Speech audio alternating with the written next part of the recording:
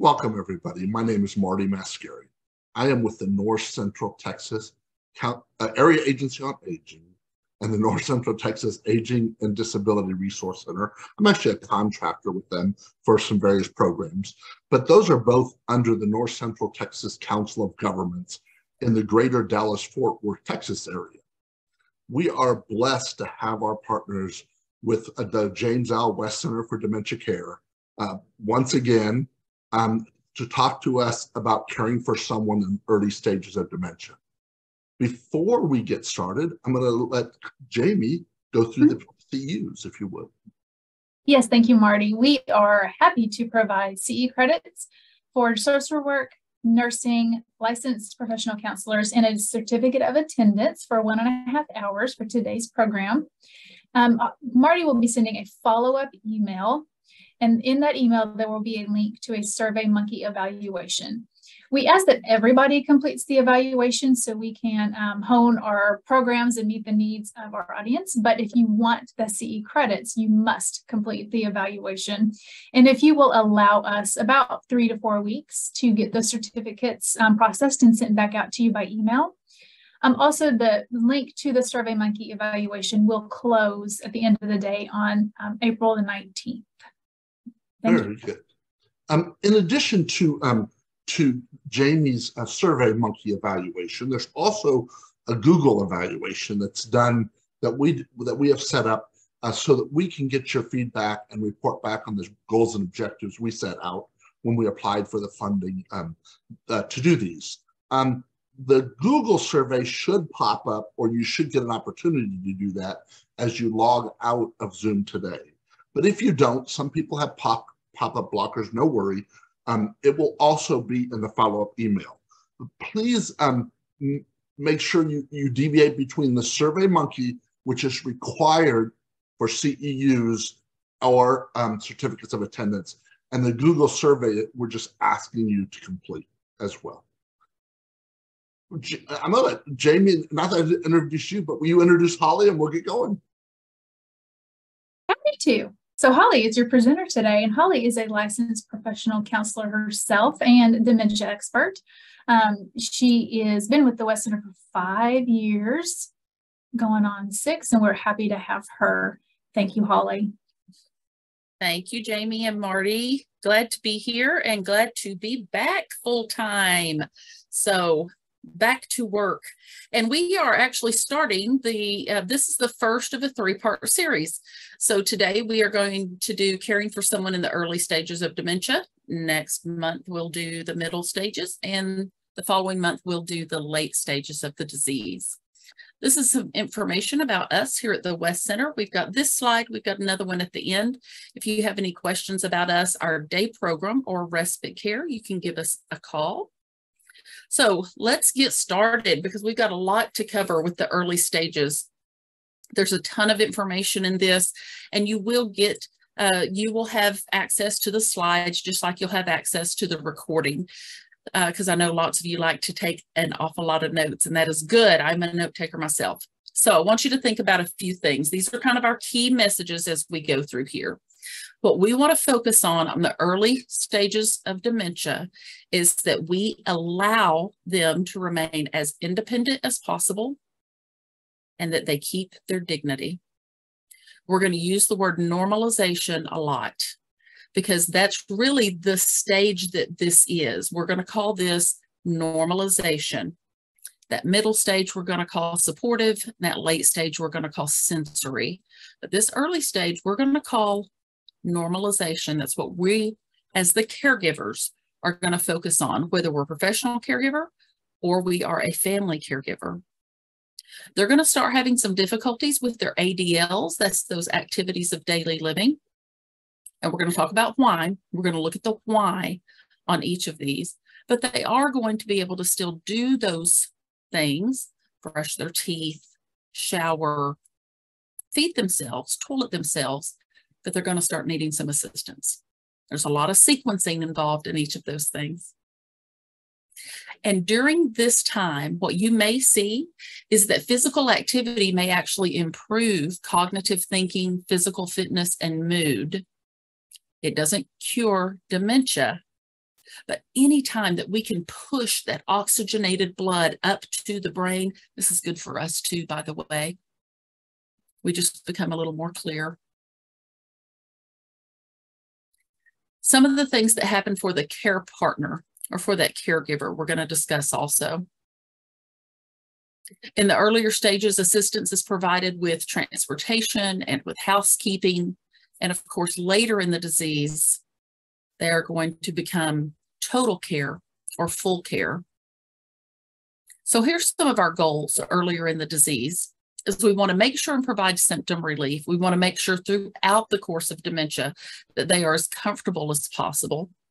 And rather than focus on what they lose as they are losing the ability to do certain things, we want to stay focused throughout the course of the disease on what remains.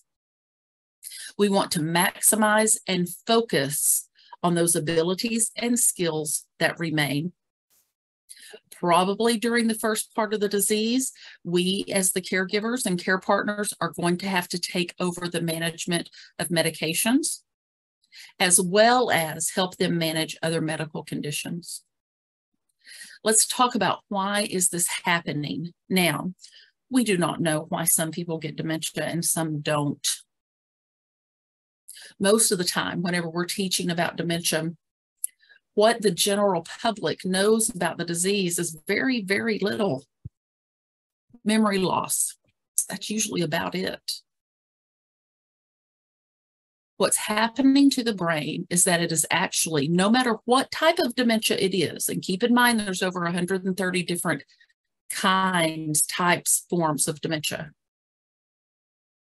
Alzheimer's being the most common type of dementia. But that brain is beginning to atrophy.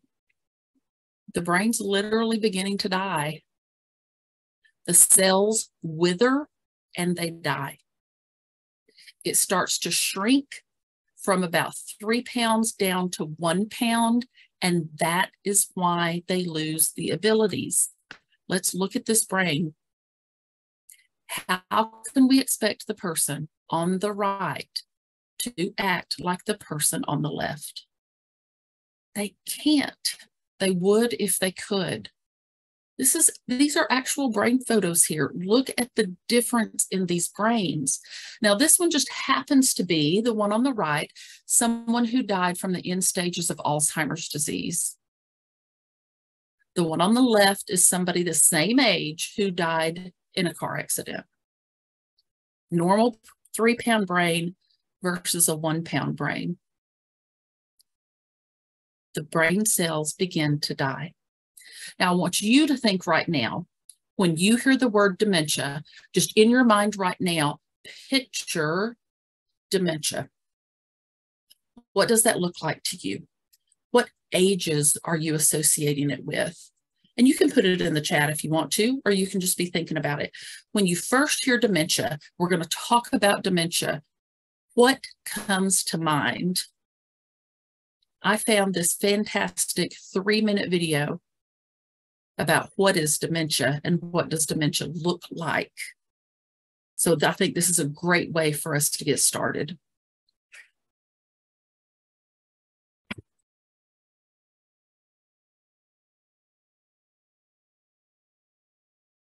there were times where um, coming home from work, I got lost. I ended up calling my wife saying, I don't know what I am.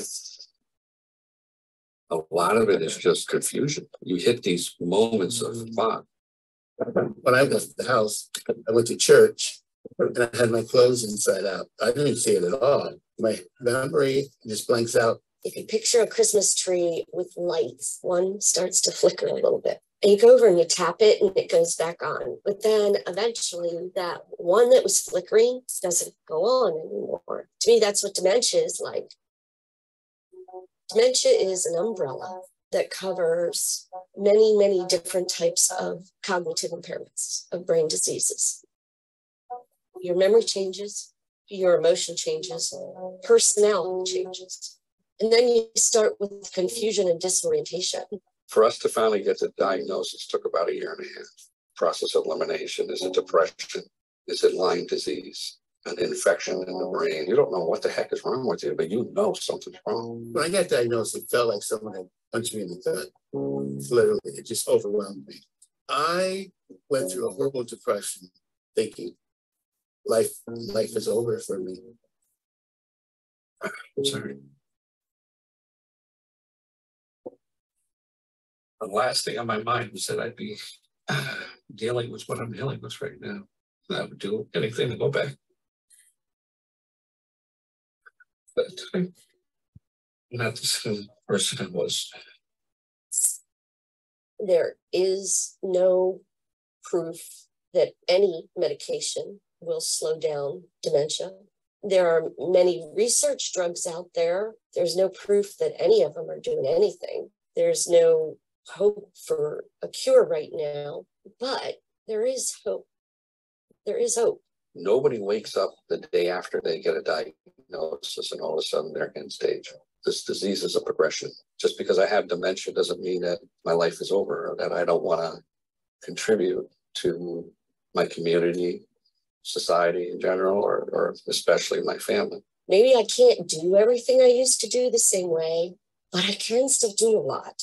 But we have to figure out how to do them differently, which means figuring out how to overcome the obstacles.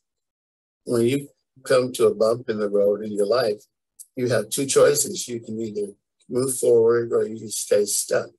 I realized that I still was a valuable person. You know, get your ass up out of bed and, and live. I'm trying as hard as I can, living a meaningful, purposeful life. I don't want just to survive dementia. I want to thrive. I want those happy times to continue as long as they can.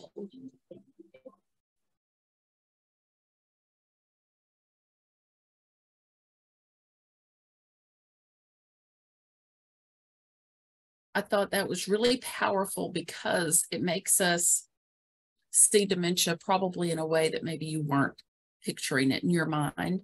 The three people that are in that video may not have been what came to your mind when you thought of dementia. Now, there were a couple of things that were said that I want to point out. You heard her mention the Christmas tree, and I've heard dementia compared to that Christmas tree before, where when that first light goes out, she said you can tap it and sometimes it'll come back on.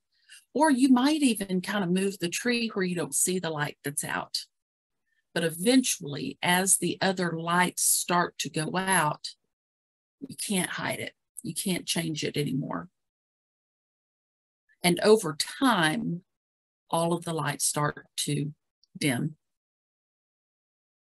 It's a great way to think of the disease. She also said the word umbrella, that dementia is an umbrella term, which it is. Dementia is an umbrella term, like cancer is an umbrella term. And then under that umbrella, there's these over 130 different types of dementia. You heard the gentleman say that his just getting diagnosed took so much time because it was a process of elimination. And the younger a person is, it can even take longer because who's thinking it's dementia when someone comes in and they're 48? Who's thinking it's dementia when someone comes in and they're 52? And they eliminate these other diseases. Now, for it to be an early onset, early onset means that someone's diagnosed before the age of 65. Early onset. We're talking about the early stages early stages of the disease. But the word early onset means they were diagnosed before the age of 65. You also heard the woman in the video talk about thriving with dementia, living well with dementia, and it can be done. That's what we are about here at the West Center, and it can most definitely be done, but we've got to know how to do it. I mentioned before, what we want to do in the earliest stages of the disease is prolong independence. Now, some of the things we've got to think about as you look here on this page driving, working, managing medications, managing finances, living alone, traveling. You've got to think about the risk. Caregivers also have to start making decisions.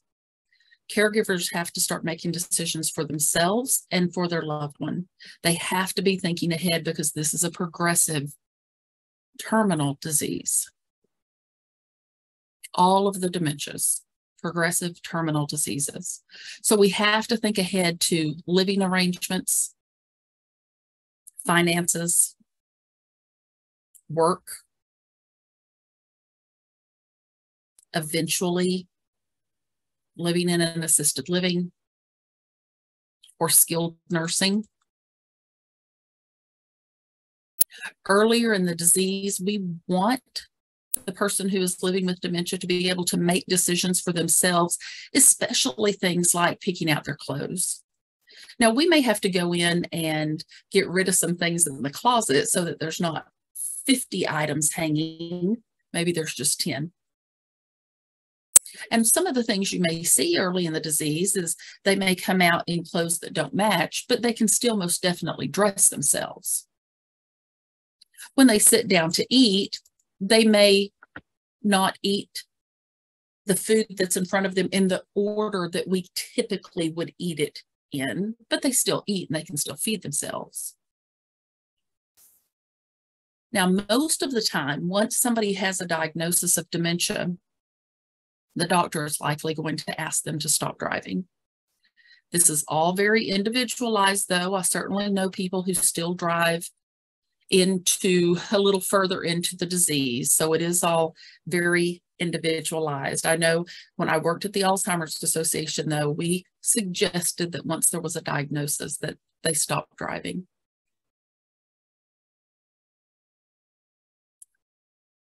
Managing medications earlier in the disease, sometimes people will forget that they already took their medicine, they'll take it again or they just don't take it at all. As far as finances go, this is when, and we're all at risk for scams. This is a person that could really easily be taken advantage of. They also may not pay their bills, or they may pay them more than once the same bill. And then that idea of living alone. How long is somebody going to be able to live alone?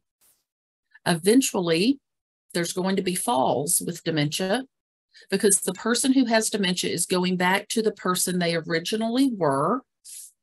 Those of you who are on our programs a lot have heard me say that before. The person with dementia is going back, back, back. It's called the theory of retrogenesis to the person they were. And we originally, we were not walking, we were not talking, we were not feeding ourselves, we were not toileting ourselves. And that's where they're headed. And when we first learned to walk, there were a lot of falls. And when we stop walking, there's a lot of falls. So if somebody's living by themselves, we've got to think about these things. We have to weigh the risk. There is dignity in risk. We've got to keep that in mind. There's dignity with risk. And we think what is worth it. Now, we cannot bubble wrap our loved ones. I've had people come to me and honestly say, I want you to guarantee me that they will not fall. Well, we can't do that. And typically, when I say back to them something like, I can't put your loved one in bubble wrap, and we get down, it's just fear. We're coming from fear. We're not going to make a big deal out of wearing mismatched clothes. It's not a big deal. And those of you who are further in the disease or you work in the field and you see it further down the line, it truly isn't a big deal. Let's look at some of those early abilities and decisions. Keep in mind that nobody likes to be told what to do. Nobody. That includes somebody who has dementia. We can't just go in and take over. We've got to have some help making these decisions. Now, you can actually have a driving test done by the Department of Public Safety, takes the blame off of you. You can have the doctor write a note. You can have them write it on a prescription pad. That works for a lot of people. They may also be in denial. Because imagine getting this type of news. You heard the people on the video where they talked about the depression that came with it. And there's some people who will just block it out. There's nothing wrong with me. It's you. There's nothing wrong with me. It's all you.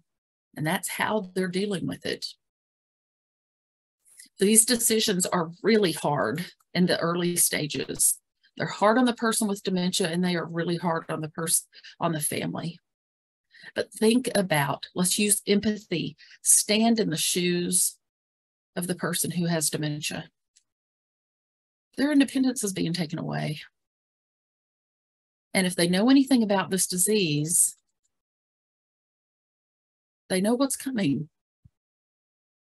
The person with dementia can even have what's called anticipatory grief. We, as the loved ones, certainly have anticipatory grief where we're grieving the future that hasn't even happened yet. And taking those keys away is one of the hardest things we can do. Think about how long you've been driving. Those of you who grew up in a small town like I did, goodness gracious, I was probably driving when I was 12, back roads. I learned to drive very, very early. Everybody did. And then let's say at 60, 70, 75, somebody comes and tells me that I don't know what I'm doing or that they're going to take my keys because I'm not a safe driver anymore. And we have someone whose brain is starting to look like that brain that we looked at earlier, and they can't control their emotions. And they may have what some people would call a challenging behavior. We here at the West Center have really stopped using the word behavior, and we are trying to say they're having a challenging expression. They're doing the best they can with what remains. And it can come out as anger, it can come out as a fist, it could come out as some words they've never used before. They're all saying the same thing. I'm losing my independence. And you're the one enforcing it, so I'm going to take it out on you. Remember, nobody likes to be told what to do. So these difficult expressions can show up early in the disease. Anger is one of the easiest emotions, if not the easiest emotion for us to have. You heard me say earlier that theory of retrogenesis, where they're kind of going back in time. And what happens to a three, four, five year old when they get told what to do and they don't want to do it? They might have a tantrum. They might do or say things they normally wouldn't do or say because they can't regulate their emotions yet. The filter in the brain that is right in this area gets so damaged that again, they will do and say things they normally would not do or say. So, some of the things that we will do that we want to make sure to do as the caregivers, the care partner, is to make those doctor's appointments for them, try to keep them socially active. This is where day programs can really be a lot of help a day program specific for people with dementia. Call their friends and have their friends continue to come over and take them out as long as they can. Remember what we said earlier normalization. Normalization.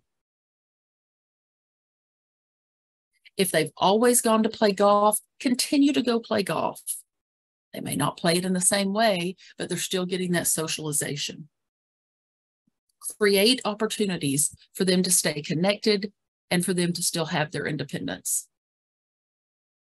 We mentioned earlier about the denial because they will develop a, a lack of self awareness.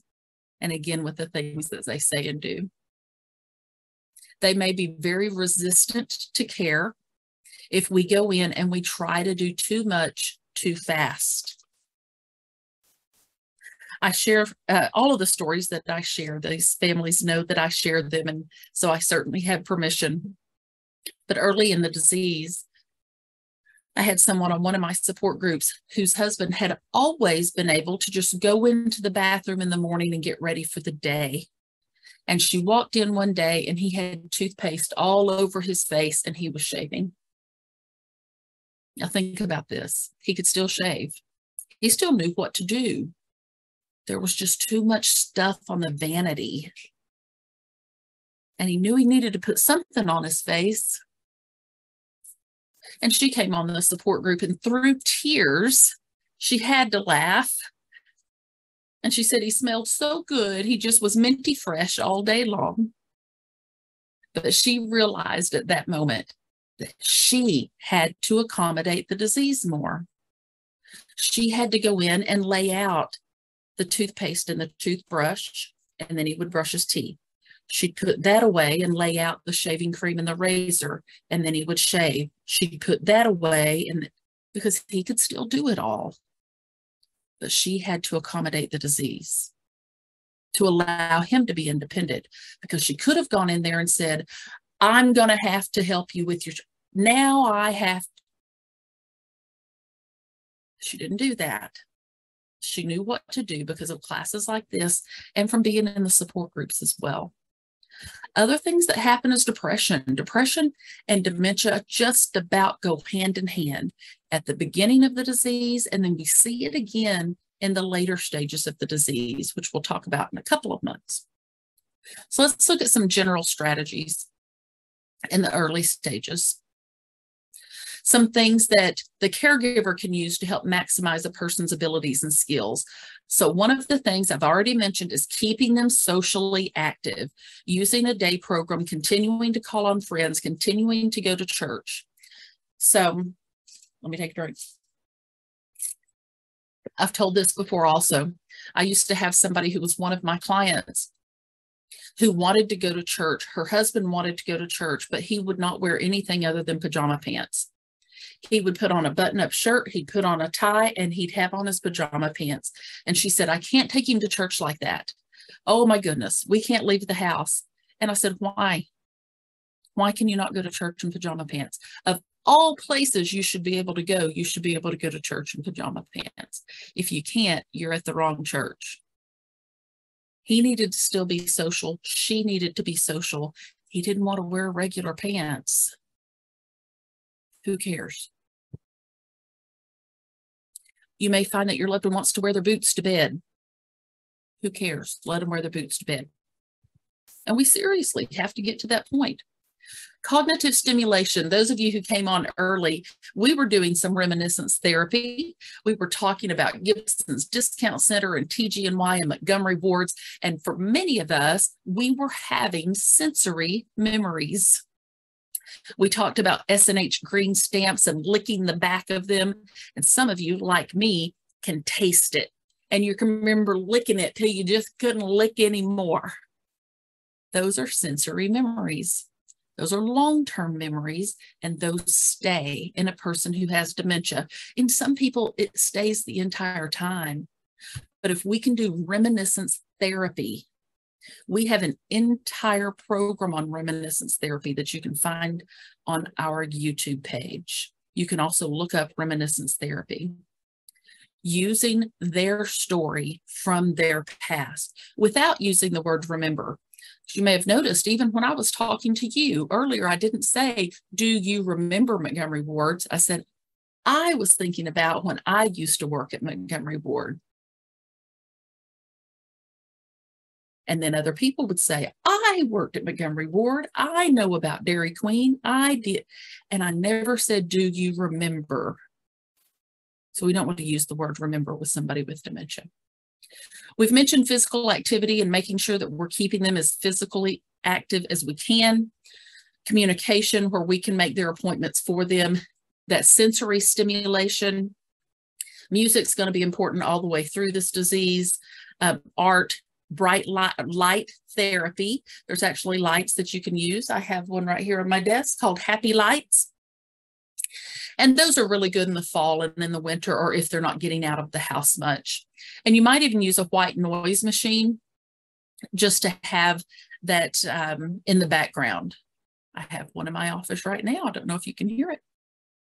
Environmental changes, we're going to do things in the house to get rid of shadows because particularly later in the day, like right now, there might be shadows and they may see that shadow as being something in the floor or being someone standing up against the wall. All of their senses are going to start to change. Get rid of anything that can be a fall hazard We're going to simplify everything that we can.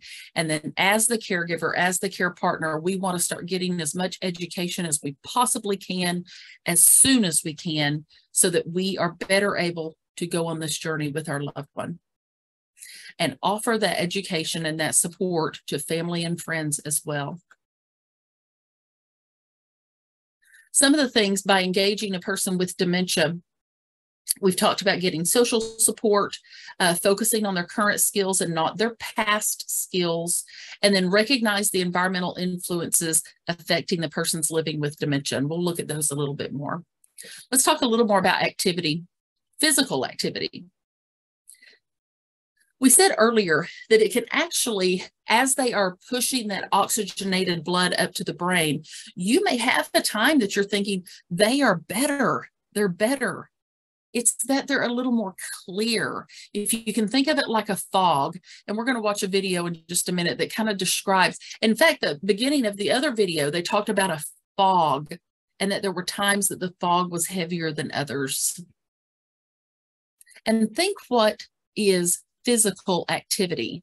It's taking a walk, it's dancing, and I've had an awful lot of folks, especially in the day program, say, Oh, my daddy won't dance. He's a Baptist. There's no way he'll dance. And then I'm sending them a video of daddy dancing. Something about dementia loves music because music stays. The side of the brain where music is stored remains longer than the other side of the brain. And we do love to dance.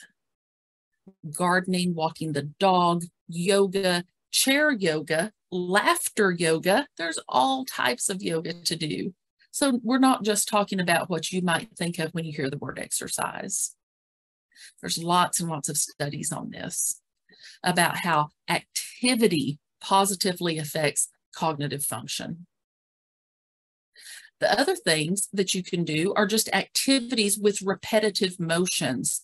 A person with dementia, just like they may start to repeat the same words or phrases over and over, many times will soothe themselves by doing things with a repetitive motion, like folding towels, putting coins in a coin holder, separating nuts and bolts. If they still have their fine motor skills earlier in the disease, being able to do, uh, separate beads, anything like that, even if they're folding the same stack of towels over and over and over again. It's a repetitive motion. I've had people who want to put paper through a paper shredder. Repetitive motion. It's giving them meaning, it's giving them purpose, and it's repetitive, so it's self soothing. Just like we might rock, some of you right now might have your lead going. You might be taking a pen or a pencil and you're doing this with it. You're doing a repetitive motion because of the self-soothing. People with dementia do the same thing. Let's watch this next short video. And this is frequently asked questions about the early stages of dementia.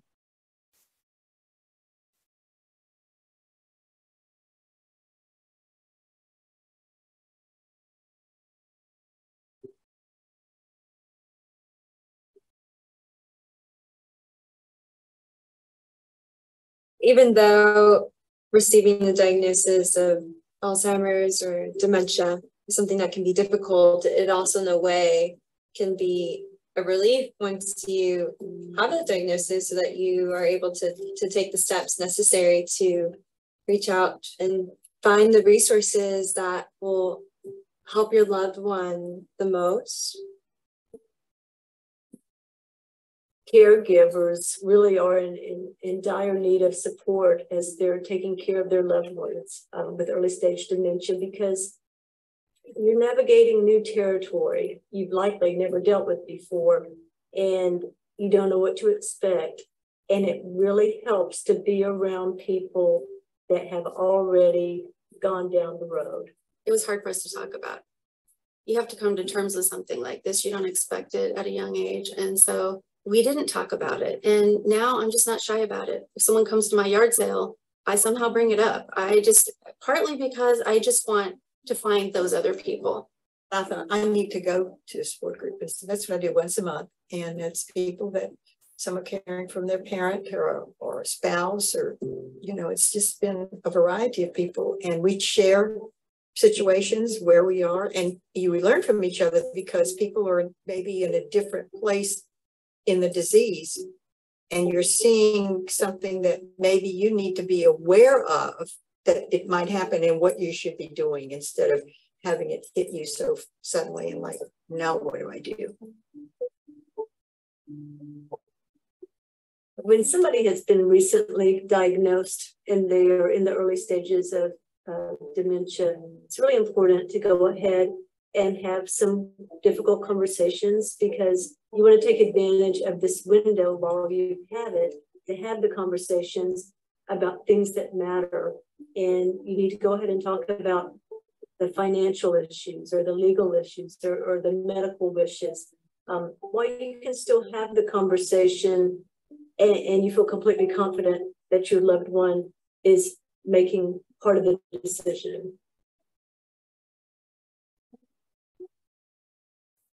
Communication um, with your family members or friends with early stage dementia is, is a really critical element that you have to learn how to do correctly because it helps the relationship uh, between people flourish because otherwise um, angry things are liable to be said and miscommunication can happen and I think the most important thing is to just take your time and listen. You have to slow down and you really have to just take the time to hear what they're saying. And it's so important not to question so much and not to say, Do you remember? Why didn't you remember this? You know, don't be critical. Try to keep everything in very positive terms.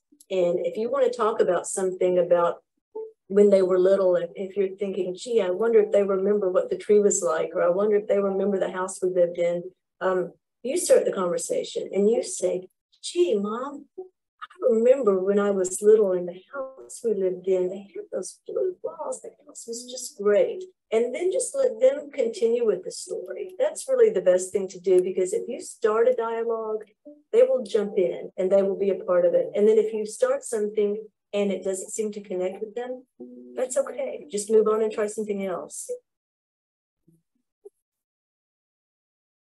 An engagement activity that could be great for your loved one if they've just been mm-hmm. recently diagnosed with early stage dementia is trying new things because they're so capable of trying new things and and learning how to do new things, whether or not, you know, you don't necessarily have to master something, but I think that that also gives you the opportunity to talk about something different that you tried and and it's stimulating. You try something new and then you have a discussion you're able to process that with your loved one and create a connection they can all do things they didn't know they could do they can lift weights they can dance many of these are things that they've never done or they will tell you oh i used to do that and they think now that they can't do it anymore and that's just not true if you meet them where they're at, they can do it. It's in a new way because none of us are the same as we were 10 years ago. But we can work with where they're at today and help them find joy and wellness in the face of the challenges that they have. It's important after diagnosis to remember your family member may be going through some changes and they may not seem exactly like the same person they used to be. But it's so important to remember that if this is your husband, he's still your husband. And this man is still the man he always has been. He may be going through some challenges and it may seem like he's different, but he's not. He's the same man. And it's really important to hang on to that and, and hang on to the things that you have done in the past and that you enjoy doing together and, and keep doing those, keep doing those as long as you can. And I try to just take one day at a time. I don't try to worry about, you know, what's going to happen to me, what's going to happen to him. Who knows? And why am I going to worry about it? I can't do anything about it. Just enjoy the moment.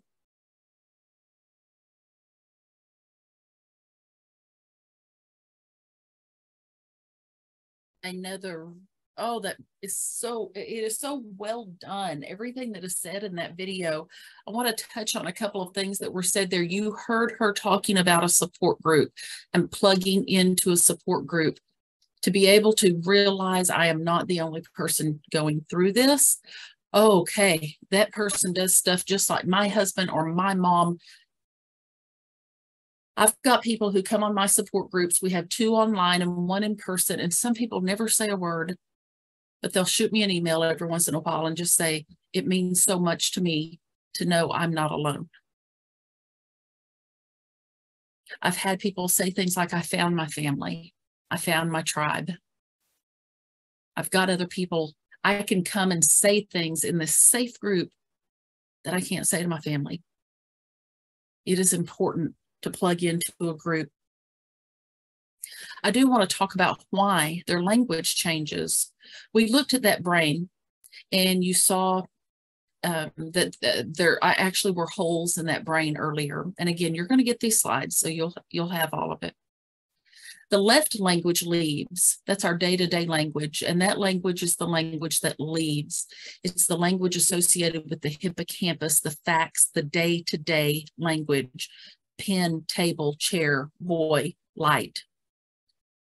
But the right language stays, so right remains. And the right that remains is the rhythmic language. So right rhythm remains. We've talked about music. Music remains, poetry remains, prayer remains for a very, very long time. And some people, it remains all the way through the disease.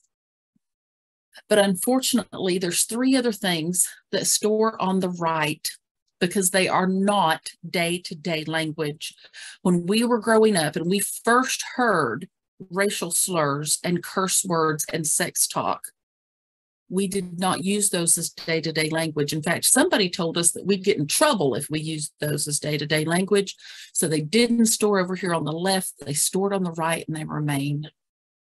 And that's why people will use words that they never, ever used before.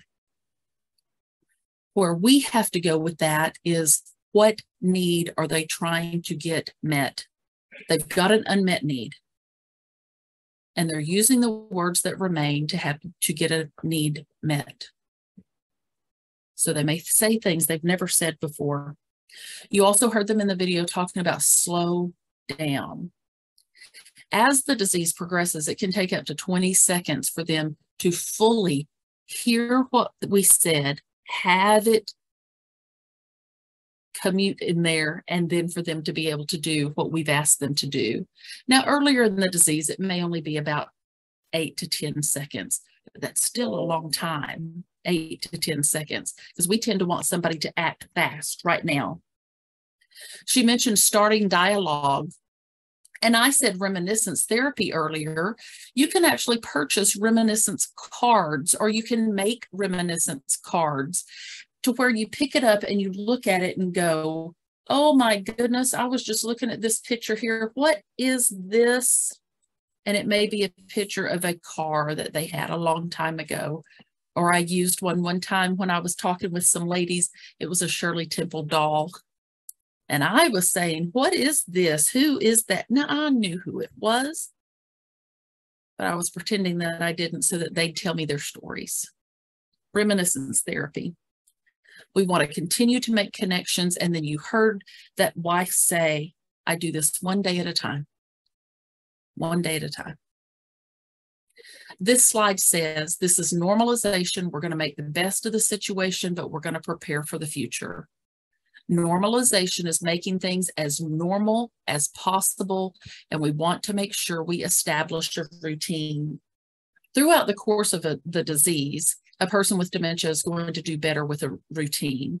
But if we can get that established early, so here are some things that you might expect to see in the early stages of the disease. They may have long periods of time where they're really good that you're going, you may even think maybe they're misdiagnosed. They're going to still be able to use humor they're going to still be able to hide this disease, especially in social circumstances, for a long time. If they had a job where they had to be social, I had a gentleman who was an insurance salesman. Every time he'd come by somebody, he'd stick that hand out and say, Hello, my name is Jim. Hello, my name is Jim. He was being an insurance salesman. but he would come right back by in about 90 seconds. Hello, my name is Jim. But he could do the social banter and the chit chat.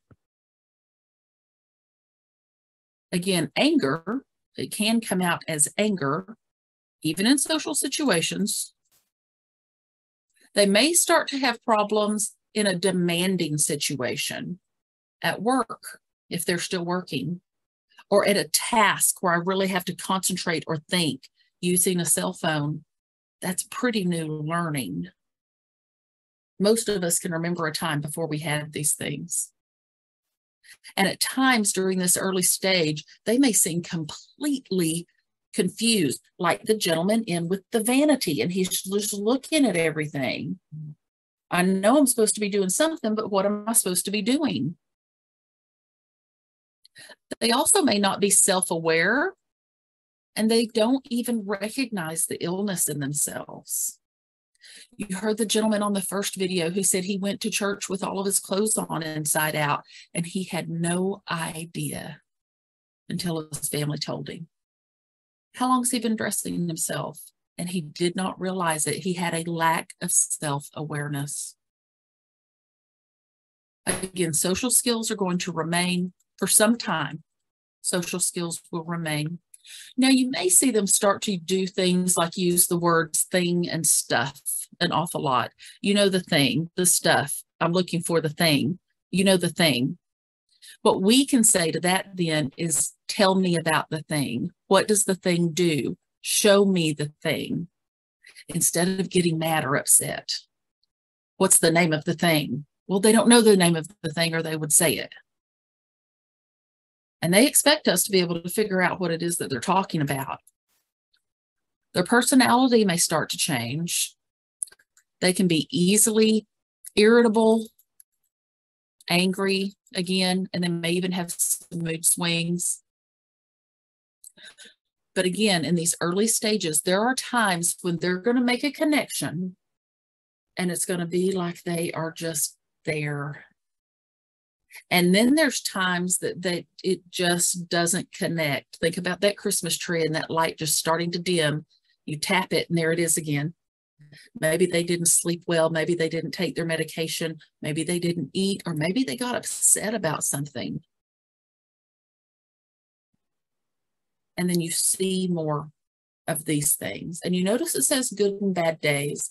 And when people ask you how your loved one's doing, that's what I recommend you say. You know what? We have good and bad days. Because with this disease, there's never going to be a day that we say something like, they're getting better. We're trying this new treatment.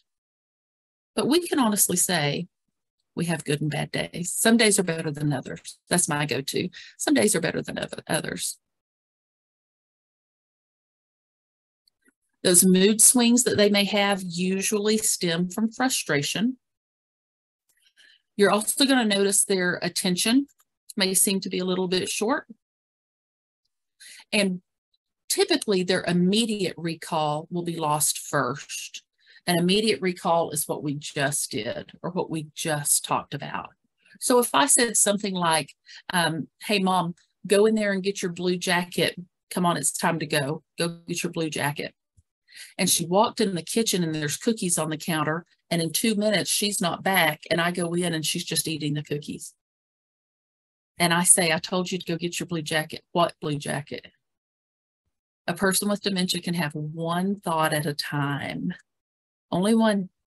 And once those cookies were in sight and my mouth, and I'm smelling them and I'm touch that blue jacket's gone. One thought at a time not only are they going to lose their words to be able to say their words, but they may not understand the words that we are saying. So we may have to start leaving out adjectives and adverbs and bring those sentences down three to five words. They may not be aware of their own body or their body position, and they're less able to locate and express pain so they may be sitting with a furrowed brow, holding their stomach, and you say, Is your stomach hurting? And they say, No.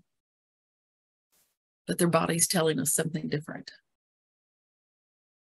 They're saying my body is hurting, my stomach is hurting. I don't know how to get those words out to tell you that, but their body will tell you. Sequencing is lost, the order in which we do things.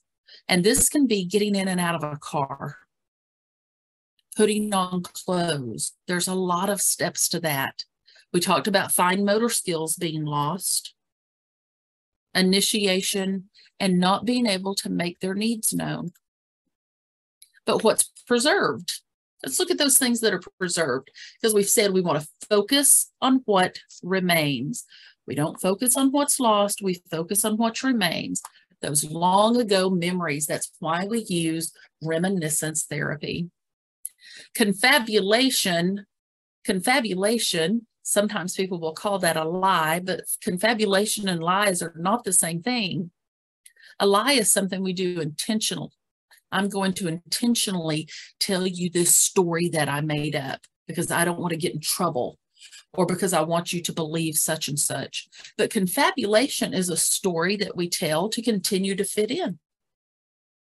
So when I have a gentleman come in my office and look at my degrees on the wall and he starts telling me about his degrees, he's just finding something to talk to me about. And he sees those and he thinks he has them too. That's not a lie, that's confabulation. We go with it. Tell me about your degrees.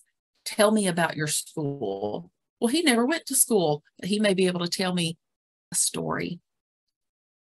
And we're able to have a connection. And that's one of the biggest things with dementia.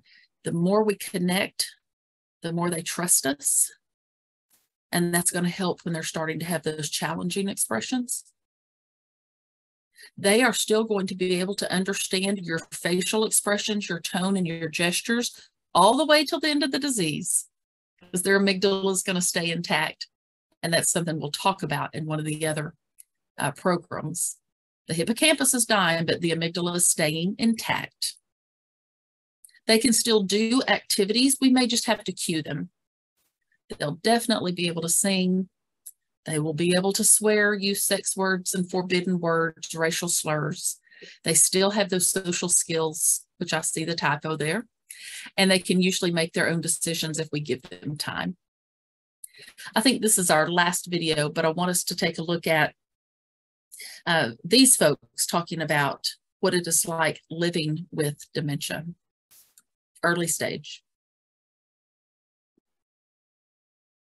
I am 66. I was diagnosed when I was 65. I was diagnosed initially in November of 2015. And I think I'm getting the dates right. Part of my issue is my dates sometimes mush together. I know exactly what we're doing. Um, I know you're Steve. I know you're Zach. We're here and Pine Street finally. On July 20th of last year, I received the official diagnosis with 17 research physicians and doctors in the room, myself, my husband, and my two children with the diagnosis of early onset, early stage Alzheimer's.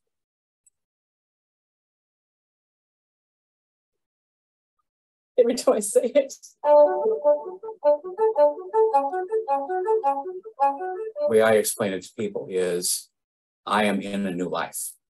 I, my former life no longer exists, and it's up to me to create a new life. I knew something was wrong. It's not normal to not be able to calculate a tip anymore. It's not normal to not do math in your head and to be able to subtract or add numbers. It's not normal to not remember conversations or to attend a training class and not remember what was taught. More and more words are going away. And there are a number of words that no matter how I remember them, they are not there. You know, I could say, okay, now I've got it. And two, two minutes later, I won't have it. With Alzheimer's, you, you don't have an option. You just, it's just not there. The information is just gone. It seems to be particularly difficult for those of us with Alzheimer's early onset to have um, sorry, I got up. Um, okay, frustrating is the word that comes to mind. I am frustrated with the fact that I don't know what 32 minus 7 is without a pen and paper. It frustrates me that I have no idea what today is, but I do know it's Friday. First thing I lost was my car. So I was no longer uh, able to use my car for various reasons. I got a bicycle and I've had two crashes with that. Um, and I think part of that is spatial. Now I have a new job and that job is to be loud and proud about my disease, to share my symptoms with everyone and anyone who will listen to me. I'm able to be useful. I'm able to have to surround myself with a lot of people, which is absolutely the most important thing you can do with, with Alzheimer's. Everyone always tells me I look good. Well, what does that have to do with anything? I keep saying to people, I'm going to walk around in a bathrobe with the towel on my head. You know, no makeup, just an old hag. And then maybe then they'll think I have Alzheimer's. But this is what Alzheimer's looks like. It looks like me. My name is Chris Hannafin. My name is Pam Montana. And this is my brief but spectacular take. Brief but spectacular take. On living with Alzheimer's. Wow, that's powerful. How powerful is that for them to be able to talk and for them to be willing to share? For so long, the dementias have been something that it's almost like there was a shame attached to it. We didn't talk about it and it's time to talk about it. I'm so glad that the Alzheimer's Association has made that video. They also offer for people early in the disease to be able to make videos about what they want their final wishes to be. To make videos that caregivers down the road will be able to look at and see what's important to me. I watched one where a gentleman said, uh, you know, to make sure and leave a fan on at night because I've always slept with a fan. And if I don't have that fan on, I might get agitated. Isn't that important to know later down the road? His caregivers need to know that. And they're making these great videos, and it's things that people can do at home themselves. I just think that's so powerful.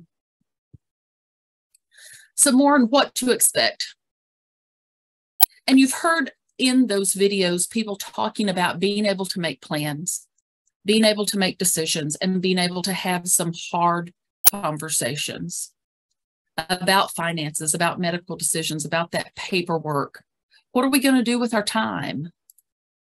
Are we going to have that bucket list? Are we going to take some trips?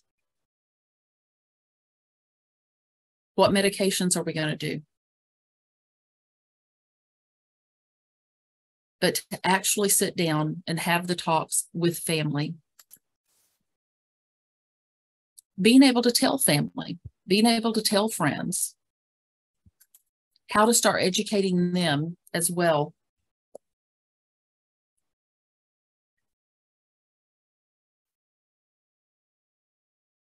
I do want us to briefly look at dementia medications you heard it said in one of the videos, there is no, you'll see these called memory meds, but nothing cures dementia.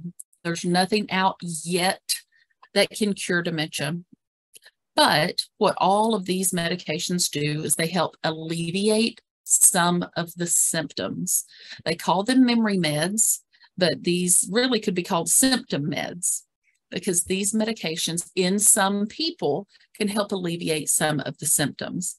So these are medications that are approved for one type of dementia or another.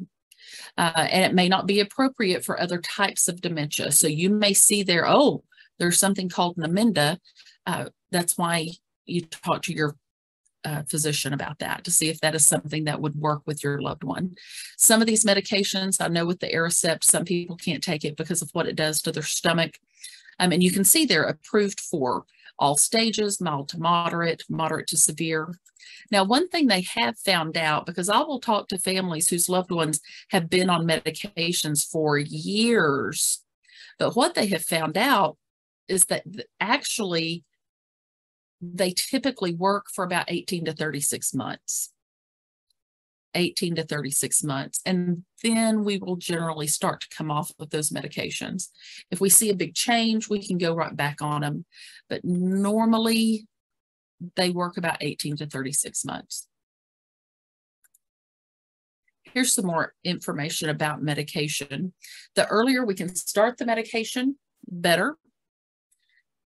It's kind of like it, um, I've heard people mention it's like they ride those plateaus longer because we know about dementia is they'll sit on that plateau and then they'll progress and they'll plateau and then they'll progress. Now, sometimes things can put them in a progression, a urinary tract infection, the flu, COVID, pneumonia, a really bad fall. God forbid they have to have general anesthesia. General anesthesia is going to send them to that next stage.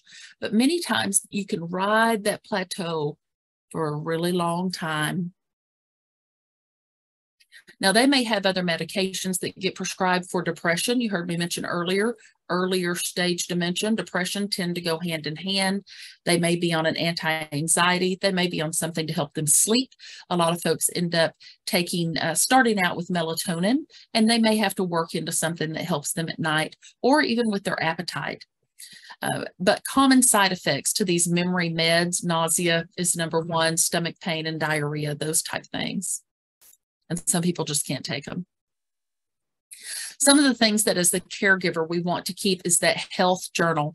I encourage families to start carrying, I've got one right here. I like this size. I don't know if you can see it.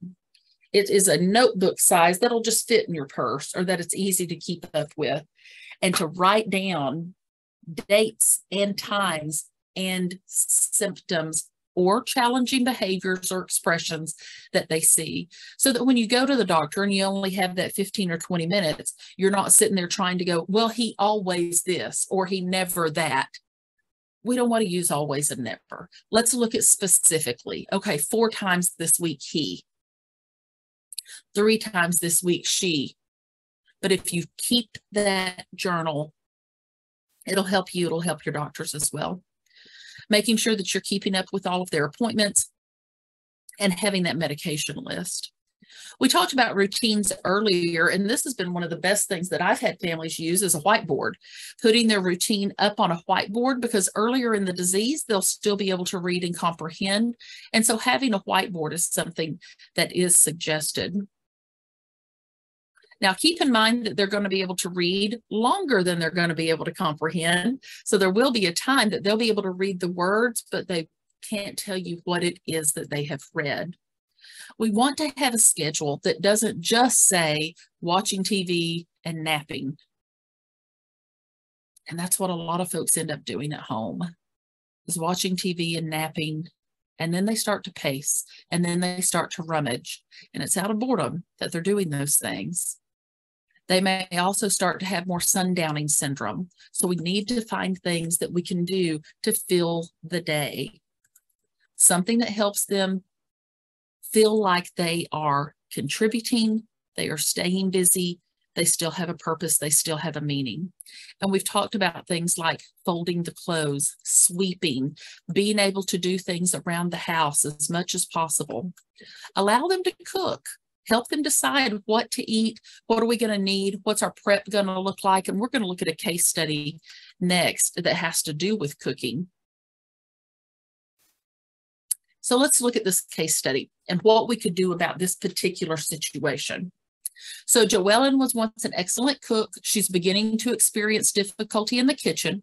Her husband and primary caregiver is taking over many of the duties in the kitchen. His main challenge is how to keep his wife safely engaged in a task she has previously enjoyed doing and in which she was once quite accomplished. The problem is that she's at risk of causing potentially dangerous situations, like putting a metal bowl in the microwave or putting a dish towel on the burner or even leaving the stove on. So she used to be able to go in the kitchen and just do anything and everything. She still needs to be able to go in the kitchen. We talked about normalization. So what is the problem? What is the husband going to do? He arranges for them to cook meals together. So does that mean it's going to take more of his time? It does. He's going to provide the supervision. He's going to ask Joellen to contribute by taking specific steps like washing the fruit, washing the vegetables, assembling the salad, and having her assist with the other mealtime task outside of the kitchen, set the table. She is still going to very much be a part of it, but he's going to break down those steps for her. Let's talk about communication in the early stages of the disease. We mentioned earlier that it can take, at the end of the disease, it can take up to 20 seconds for them to fully hear what we said, comprehend, and then do what we're asking them to do. Earlier in the disease, it can be eight to 10 seconds. But again, eight to 10 seconds is a long time when you're just with quiet. They need that quiet though. They don't need us to say it again. They don't need us to say it louder. And They don't need us to say it in a different way. In fact, we need to say it the same way each time. Use that calm voice, a reassuring voice, and watch your tone. We never want to offer more than two choices at a time. This is why a menu can become a real problem in a restaurant. So think about what we do. We're sitting there with our menu.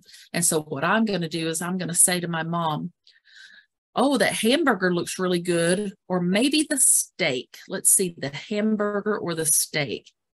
I'm having the hamburger. Which would you like to have? Nine times out of 10, she's going to have the hamburger if we just narrow it down to two, but we don't make it about them. We're not going to make it about them.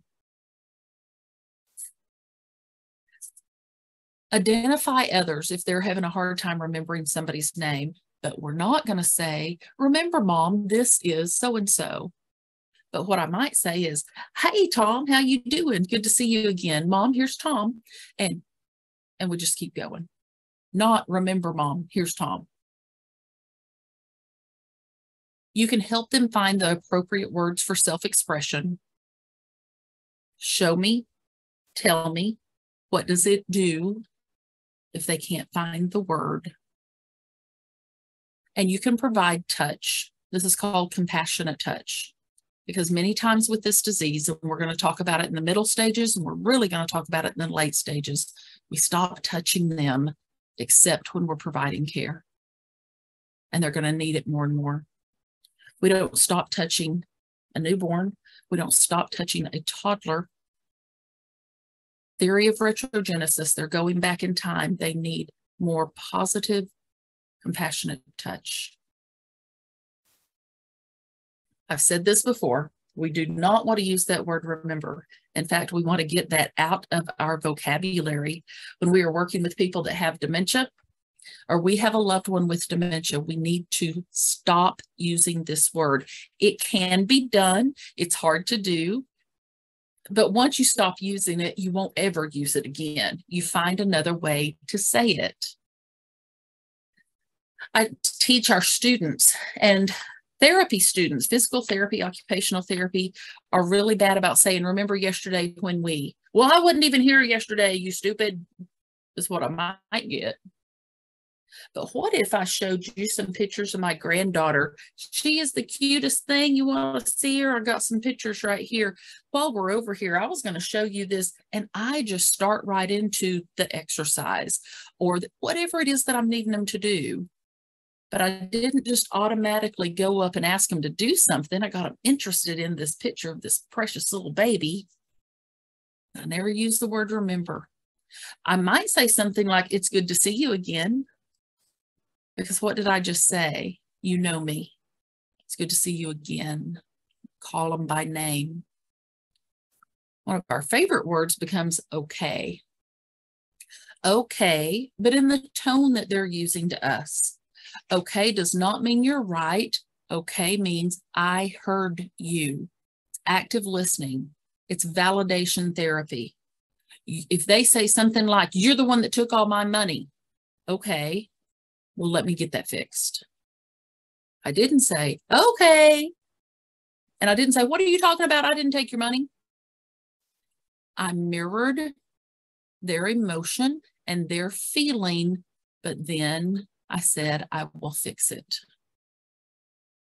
You're the one that took all my money. Okay, sit down. I'm calling the bank. Let me get on the phone right now. And I may pick up my desk phone and call my cell phone these are called therapeutic stories. Therapeutic stories, the Alzheimer's Association calls them fiblets, and some people just say they're lies. I like to call them therapeutic stories. If they're looking for someone who's passed away, like their mom or dad, and their mom or dad's been gone for many, many years, I'm not going to tell somebody over and over and over again every single day that a person has died. It's the first time they heard it. But I might say something like, Tell me about your mom. Or tell me about your dad. Tell me about your husband. And sometimes we have to tell that therapeutic story that they've run to the store or he's out golfing. You know how he does. And sometimes he's even deployed. Whatever works for them. And if somebody is starting to get upset or maybe starting to have one of those challenging expressions or behaviors, there's four things that we can use for distractions that tend to work really well. And the first one is food. The sweeter, the better. With dementia, we talked about their senses are going to be changing and taste changes. And for most people, not everybody, but most everybody, sweet stays. So if I've got little cups of ice cream, and if you're in Texas, you know we've got to have some Blue Bell ice cream. Or I can go to the Sonic or the Dairy Queen and I can get a Blizzard or a Blast or a Cherry Limeade. And I've got some music. I can get them to do just about anything. Now, music is powerful, but it needs to be their music their music from their past, not my music, especially if I'm dealing with somebody that's the next generation older than me. They don't want to hear my music. They're going to call it racket, just like I'm going to call my kids' music racket. Everybody has a music set, and it's usually the music between the ages of 10 and 25. So if you know what that music was, that's their music set. You can always use Christmas music. You can always use music like Happy Birthday, You Are My Sunshine. I've seen people who were nonverbal start to mouth the words to Christmas music before or to hymns, religious music that was close to them when they were young. So we've got food, music, and here's animals and children. Animals and children whether we have real animals or we have dementia friendly robotic animals, or we have videos of animals. Another great thing to do is go to YouTube and put, I love putting baby animals falling down. And my favorite, though, is to put children laughing. Children laughing on YouTube with some ice cream. I can get just about anybody to watch little children laughing. Because have you seen this video of my grandbaby? Because my grandbaby's something else. And even when somebody's trying to break a door down, I was able to use that. I'm going to help you break that damn door down. I know it. I hate that that thing's locked. I wanted to show you something real quick. And if I can just get them to come with me and look. Now, using the phone is not the best because it's a little bit too small, but an iPad usually works and the TV or computer screen usually works. So the four things that we go to for distraction, and this is going to be throughout the course of the disease, food, music, animals, and children. Here's our information here at the West Center. Um, we are a long-term care. We've been here for 30 years and we only do memory care. We also have a day program and we also provide education like what we are doing right now. I think Amy's going to, uh, Amy, Jamie is going to hop back on real quick and be able to tell us again about the CEUs. Yes, thank you, Hollie. Um, we are offering one and a half CE credits for social work, nursing, licensed professional counselors, and if you want a certificate of attendance, uh, Marty will be sending out a follow-up email, and in that email will be a link to the Survey Monkey evaluation. If you want the CE credit, you must complete the Survey Monkey evaluation. And if you will allow us about three to four weeks to process those and send your certificate by email, um, but we do ask that everybody completes the evaluation just so we can get your honest feedback and we can continue to provide um, great programming. Thank you. Great. In addition to the um, the Google survey, I'm, I'm sorry, in addition to the monkey survey monkey, um, you'll also, we also have a Google survey we're asking you to complete. Uh, the Google survey, sh there should be a pop-up after you, as you log out, giving you the option to go to the Google survey. Um, that is really um, helps us in reporting back our, on our goals and objectives that we set forth when we um, applied for the funding to put these on. Uh, just, I'll, I'll make a, a careful note that the Survey Monkey is required if you want CEUs or, or certificate of attendance. The Google survey is not required. We're just asking you to fill that out for us um, to give us your, your feedback. The other thing I, have been adding recently, and I want to say is I, I often, often get emails right after the webinars how do I get, what do I need to do to get my CEUs? Or where can I get whatever for about CEUs? Or when am I going to get my CEUs? I get, I'll, I'll get, I'll, I'll get um, an email in two days saying you haven't sent me my CEUs yet for this. You, you all, we go over this twice in each webinar. And if you're on here looking for CEUs, you're you're required to be watching the entire webinar. So if you're on here and you don't know how to get a CEU once we're done, then you really haven't paid attention to watch this, the, the seminar. And, and I, I hate to do that, but it happens all the time. And we go over it twice. Um, so please make a note that you really gotta gotta listen about or, or, or refer back to the slides on how to get um, your CEUs. So I'll get off my soapbox. Turn it back over to you, Hollie. Okay, and next month we will be doing part two, which is caring for someone in the middle stages of dementia. It will be on May 9th from 2 to 3.30. I'm going to stop sharing and see if anybody has any questions or comments, or if anybody has, um, Jamie or Marty, if y'all saw any, or if you were able to answer anything. Yes, you will get a printout of the presentation and a copy of the presentation. Thank you so much. Janet's asking, in fact, in fact, the presentation, I just put that in the chat, that link just a couple of minutes ago. I put it in twice, but you'll also get that link in the follow-up email. Everyone that, that, attended today will get that. Um, okay.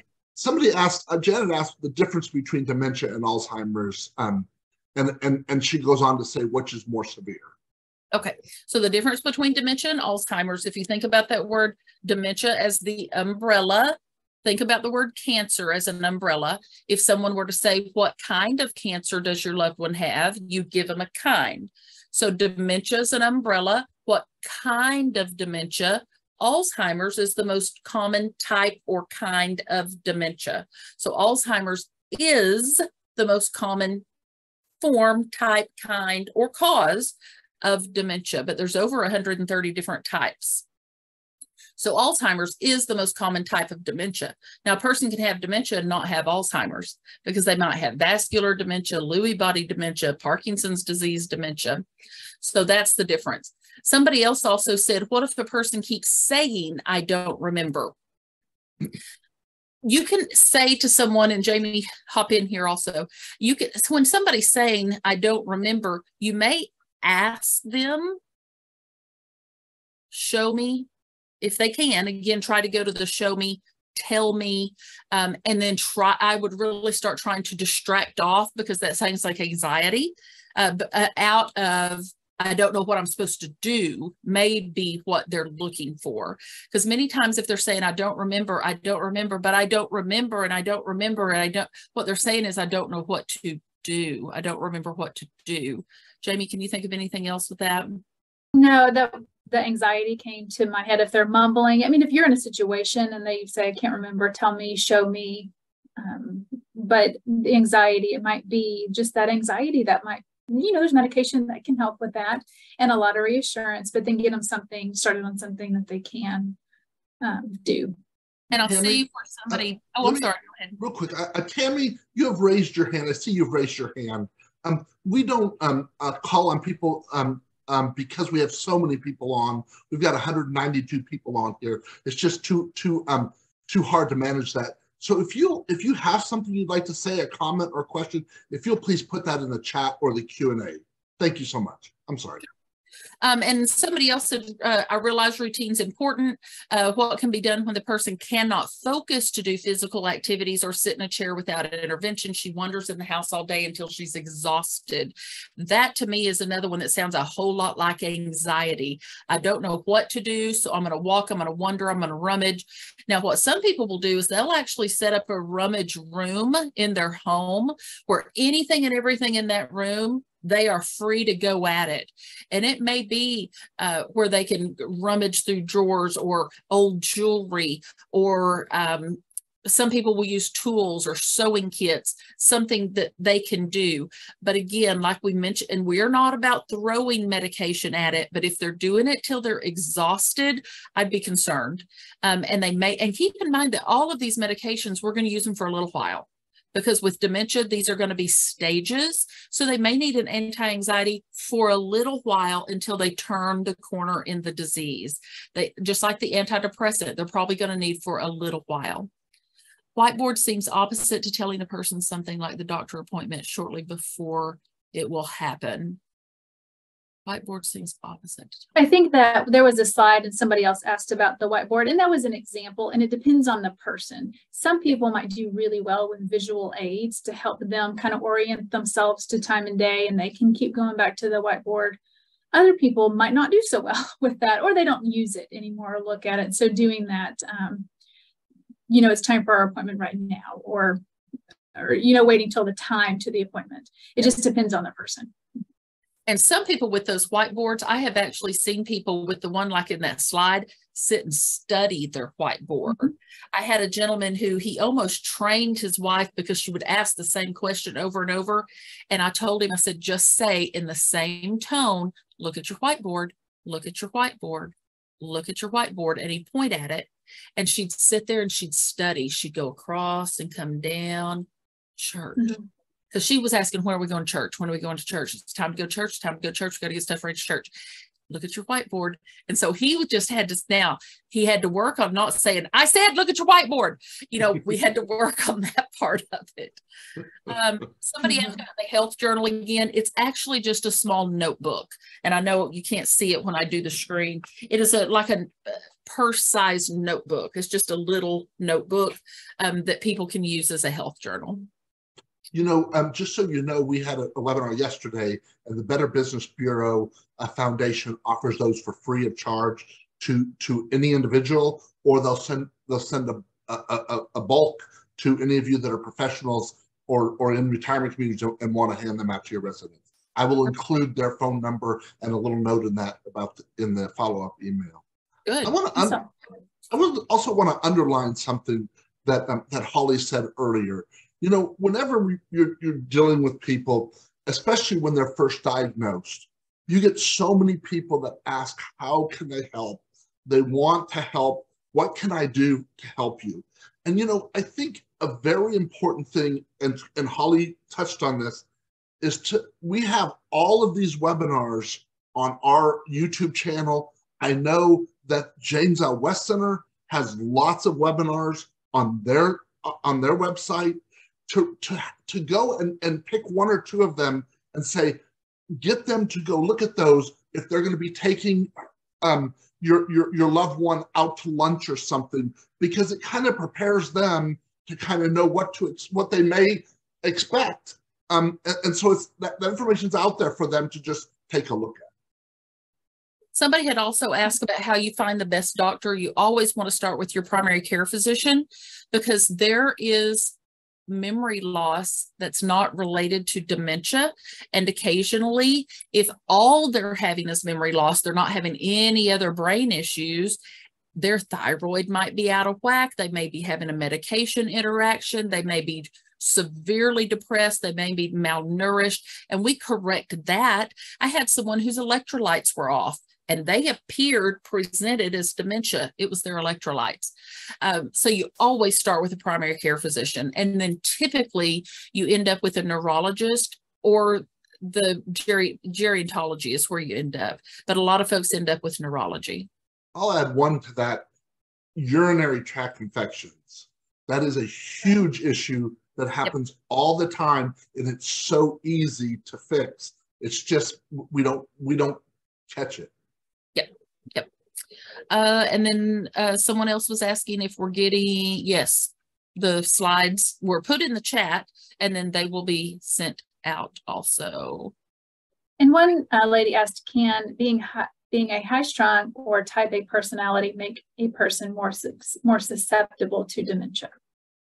I don't know that it necessarily makes them more susceptible to dementia, but it may uh, exacerbate uh, after they have dementia, just like I mentioned, the gentleman who was the insurance salesman continued to be an insurance salesman. Somebody who's a type A personality likely will continue to be a type A personality. Now, they may do the complete opposite and change later on, but it doesn't cause it. That's not something that causes it. We are right at time. Wow, good session today. Lots of great questions. I appreciate everybody being on. Remember, next month we're going to do the moderate or middle stages of the disease, and we'll we'll pick up from here next month. Jamie Hollie, thank you so very much. We sincerely appreciate y'all. We appreciate the partnership. As you can see in, in, in the comments, incredible information, incredibly helpful. Thank you all for joining us. Um, and um, look for the, the follow-up email. Um, uh, probably will be tomorrow morning, but look for the follow-up email with the links and, uh, and the information we've talked about. Y'all have a wonderful day. Bye, everybody. Bye.